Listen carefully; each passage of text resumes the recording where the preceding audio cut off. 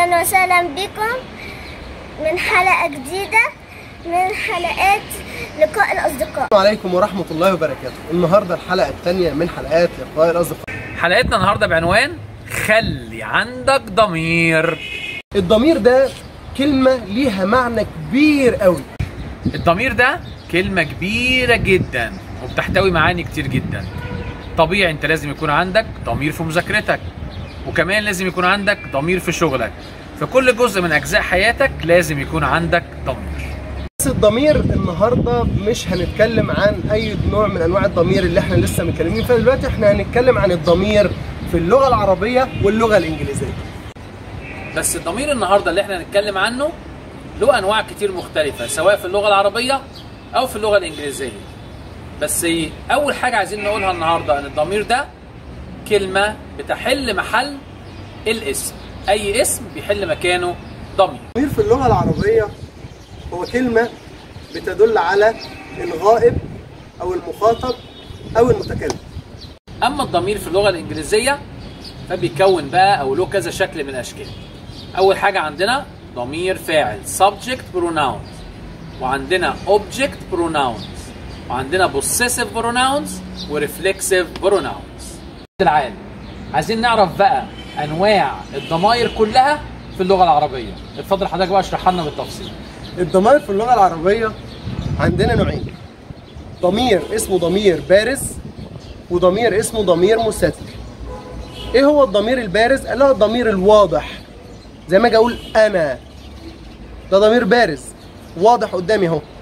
لكن الضمير المستتر اللي هو بيبقى مش موجود عندي في الجملة. زي ما جينا المرة اللي فاتت كده لو تفتكروا لما قلنا أحمد يشرب العصير وجينا نقول مين اللي بيشرب؟ ها؟ اوعوا تقولوا لي أحمد بقى تاني. إحنا قلناها ضمير مستتر تقديره هو. يبقى الضمير عندي في اللغة العربية نوعين ضمير بارز ضمير مستتر. طب كلمنا بقى دلوقتي يا مستر مودي عن أنواع الضمائر في اللغة الإنجليزية. تمام. قبل ما نتكلم عن انواع الضمائر في اللغة الإنجليزية اللغة الإنجليزية عندنا ثلاث أنواع من الناس أو المتكلمين أو المتحدثين. أول نوع اسمه ال first person وال first person ده بيبقى أنا أو إحنا. I أو we وال second person بيبقى you you سواء كان مفرد أو كان جمع. لأن you بتمشي مفرد أو جمع. والحاجة الثالثه ال third person اللي هو he أو she أو they دلوقتي طبعا مستر مودي هيحكي لنا بقى عن الضمائر اللي موجوده في اللغة الإنجليزية. اتفضل يا مستر. زي ما قلنا ضمائر اللغة الإنجليزية أربع ضمائر أو أربع أنواع. Subject pronoun object pronouns possessive pronouns وكمان reflexive pronouns. هكلمك عن حاجتين مهمين دلوقتي وبعد كده نكمل الكلام. السبجكت pronoun اللي هي ضمائر الفاعل. زي ما بتقولوا كده في اللغة العربية هي ضمائر تحل محل الاسم. والاسم ده بيكون في الفاعل مكانه كفاعل للجملة. راجع كده بقى معايا الحلقة اللي فاتت. يا ريت يا مستر عبد كل الناس تراجعها. أول حلقة. آه كنا بنتكلم عن الجملة وبنقول إن الجملة مكونة من subject وverb وobject طيب ممكن ال subject وال object ده يتحط مكانهم ضماير بدل الاسم. يعني مثلا قلنا مستر مودي eats bananas مثلا. مستر مودي أكل ال bananas فمستر مودي دي ممكن اشيلها واحط مكانها. فاعل. he eats bananas. ممكن اشيل bananas واحط مكانها مفعول. them. يبقى في اختلاف هنا. طب إيه هي ضمائر الفاعل؟ I أنا. he هو. للعاقل المفرد. she للمفرد المؤنث. للبنت. و it للغير عاقل المفرد. لو كانت cat أو dog أو أو أو. we إحنا. they هما. you أنت. أو أنتي أو أنتم. أنا بكلمكم أنتم. مركزين ركزوا معايا. نيجي بقى لضمائر المفعول. ال object pronouns ما بتبقاش بقى I و he و she و it لا بتبقى حاجات تانية. I بتبقى me he him she her it بتفضل زي ما هي it و we تبقى us و they them و you انت. انت. you بتفضل زي ما هي you تعالى بقى مستر عبد العال كلمنا عن جمال وروعة الضمائر في اللغة العربية. ضمائر عندنا في اللغة العربية تتكون من نوعين. ضمير اسمه ضمير بارز وضمير اسمه ضمير مستتر.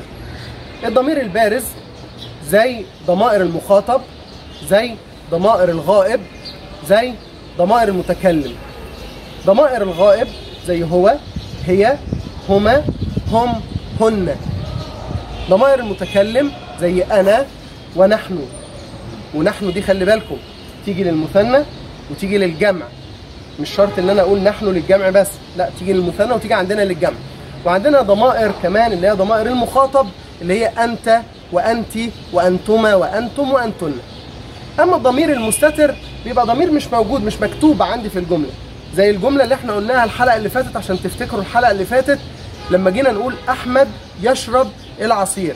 فاكر يا مستر كنا بنقول مين اللي بيشرب؟ هو أيوه. مش أحمد. قلنا بيشرب هنا ضمير الفاعل ضمير مستتر تقديره هو اللي بتعود على أحمد. فده ضمير عشان كده سموه مستتر. عندنا بقى الضمير البارز. ده بيبقى متكون من نوعين. النوع الأولاني ضمير بارز اسمه بارز منفصل زي الضمائر اللي أنا لسه قايلها من شوية. بنزود عليهم بس ضمير ما حدش بياخد باله منه خالص اللي هو اياه زي عندنا كده في الفاتحة في فاتحه القرآن الكريم إياك نعبد وإياك نستعين. إياك دي إيا دي إياك دي اعرابها ضمير منفصل مبني في محل نصب مفعول به. أما بالنسبة ل بقية الضمائر عندي اللي هي ضمائر المتصلة. الضمائر المتصلة ديت أنا حاططهم على كلمتين. الكلمة الأولانية دايما مشهورة أنا بحب أقولها على طول اللي هي ناهيك ناهيك ناهيك أيوه. ناهيك. كلمة؟ أنا مجمع فيها كل الضمائر. آه. تمام؟ تمام. ناهيك اللي هي النا اسمها ثانية نا بقى يا مستر عبد العال. نركز بقى في اللي يقوله مستر عبد العال. نركز. ها. تمام. ناهيك ناهيك اللي هي بتتكون من النون والألف. ديت اسمها لا المتكلمين.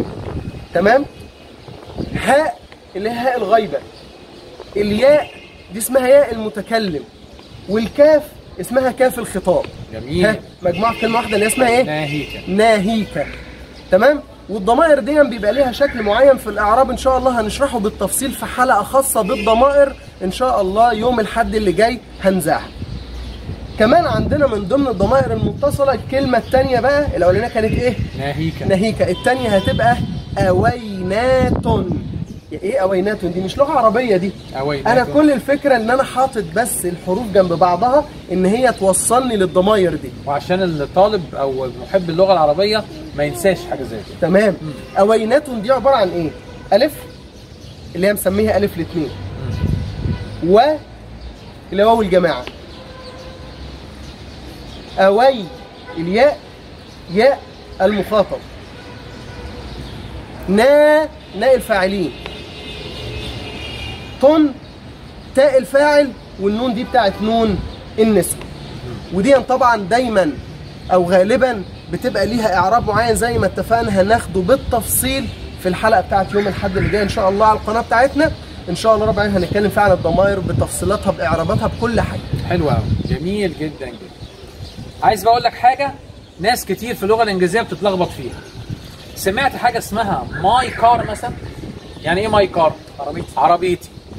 طب my دي يا مستر عبد العال إيه؟ دي مش ضمير. في كتير جدا من الناس بيقولوا إن my و her و his والحاجات دي كلها ضمائر. لا دي مش ضمائر. دي اسمها صفات ملكية. صفات ملكية. بس في عندي حاجة اسمها ضمائر الملكية. طيب إيه هي صفات الملكية؟ I بتبقى my كذا. he his كذا. she her كذا. it its كذا. we our you your they their. دي اسمها صفات الملكية. ودي بنسميها صفات الملكية لأن بيجي دايما بعديها اسم. لما أقول my car يبقى سيارتي أو العربية بتاعتي. يبقى دي صفة ملكية. طب إيه هي بقى ضمائر الملكية؟ ضمائر الملكية في اللغة الإنجليزية هي mine his وكل اللي إحنا قلناهم زود عليهم s hers مش her hers yours with theirs. دي ضمائر الملكية. يبقى لازم تاخد بالك وتعرف إن my و her و our والحاجات دي مش ضمير ملكية دي صفة ملكية. لكن ضمائر الملكية هي اللي إحنا لسه قايلينهم.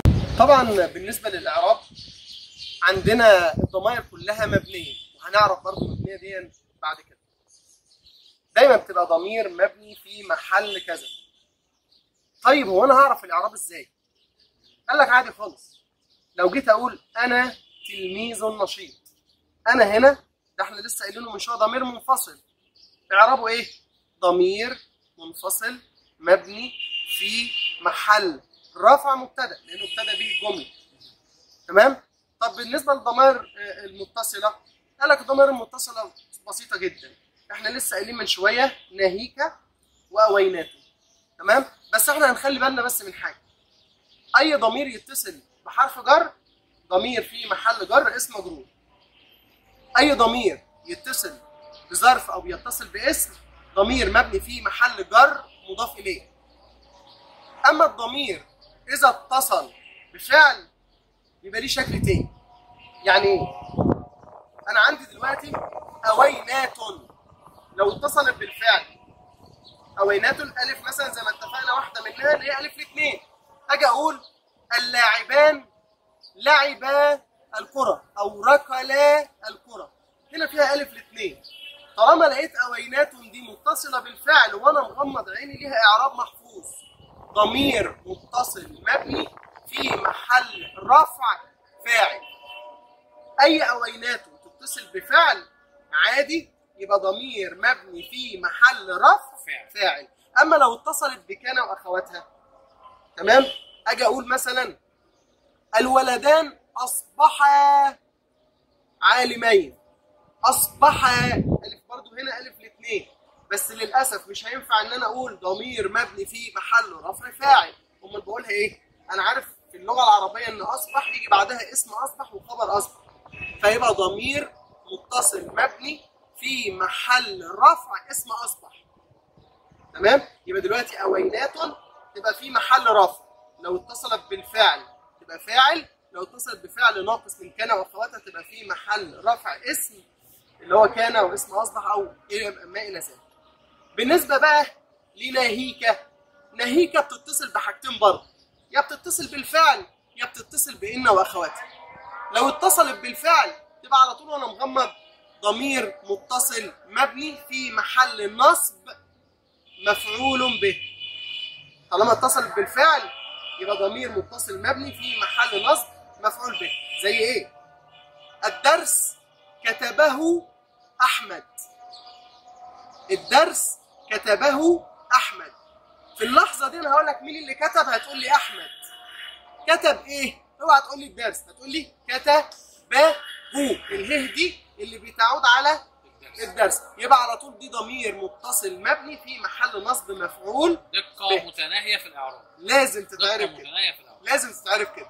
عايزين بقى دلوقتي طبعا نسمع بقى من مستر مودي الجديد أو الإضافات الجديدة اللي موجودة عندي في الضمائر هي فاضل لنا حاجة واحدة بس. حاجة اسمها كده reflexive pronouns يعني إيه reflexive يعني ضمائر منعكسة. يعني إيه ضمائر منعكسة؟ يعني مثلا لما أقول I do my homework by myself. Myself دي ضمير اسمه ضمير منعكس ريفلكسيف بروناون يعني أنا عملت بنفسي الواجب طيب إيه الضمائر المنعكسه في اللغة الإنجليزية؟ I بتبقى myself. He فكر كده. برافو في واحد جاوبها صح. Himself. She herself. It itself. We ourselves. You ليها حاجتين. yourself your y o u r s e l f. لو أنا بكلم واحد أو واحدة مفرد بكلمها مباشرة. أو yourselves. آخرها v e s بدل f. لو أنا بكلم جمع. في they themselves. وفي it itself. دي اسمها الضمائر المنعكسة في اللغة الإنجليزية. هم أربع أنواع. Subject pronoun object pronoun reflexive pronoun والpossessive pronoun هي ضمائر الملكيه والله معلومات جميلة جدا. أول مرة أعرف على فكرة الضمائر المنعكسه في اللغة الإنجليزية. فشكرا ليك جدا على المعلومة دي. ميرسي ومعلومات حضرتك برضو. أنا معلومات مستر عبد العال فيها حاجتين جديدة بالنسبة لي ودقيقة كمان لأن في كتير من الطلبة آه، دايما بيشتكي من مشكلة الإعراب. وما بيهتموش بالحتة بتاعت آه. بالحتت. البسيطة دي. لو اهتميت بالحتت البسيطة دي أعتقد الإعراب هيبقى بسيط جدا وسهل جدا عليك بعد كده. خلي عندك ضمير. وأعتقد كده أنت عرفت كم ضماير كتير سواء في اللغة العربية أو في اللغة الإنجليزية. إحنا حلقتنا النهارده خلصت. لكن لسه لقاءاتنا ما خلصتش. لسه في ثلاث لقاءات كمان مستنيينكم فيها تكونوا معانا. في قناتين بتشتركوا فيهم. قناة مستر عبد العال درغام وقناة هنذاكر إنجليزي. بيعملوا إيه كمان يا مستر عبد العال؟ ها هيعملوا إيه كمان في القنوات بتاعتنا؟ طبعا أكيد لازم يعملوا ال subscribe. أيوه. وال share. أيوه. وال comment. comment. comment. وكمان معانا وال like وال like دول أربع كلمات على فكرة في الإنجليزي.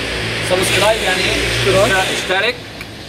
أنا أقولها بال English ومستر عبد العال يقولها بالعربي. أو العكس. اتفضل يا مستر. تمام. أنا أقول subscribe يعني اشترك. اشترك وال comment يعني يكتب تعليق. وال like آه، اعمل like اعمل اعجاب. تمام وال share وشارك كمان زمايلك وقرايبك بالقنواتين بتاعتنا بحيث إن يبقى آه، القناه بتنتشر. و like بالنسبة لنا وال comment اللي انت بتكتبه والتعليق ده بيشجعنا إحنا. وكل تج... آه، تعليق انت بتكتبه بناخده في الاعتبار وبنبني عليه بعد كده. نقول لهم شكرا. طبعا شكرا ليكم وأتمنى إن هم يكونوا استمتعوا معانا بالحلقة النهارده. يا رب. bye bye.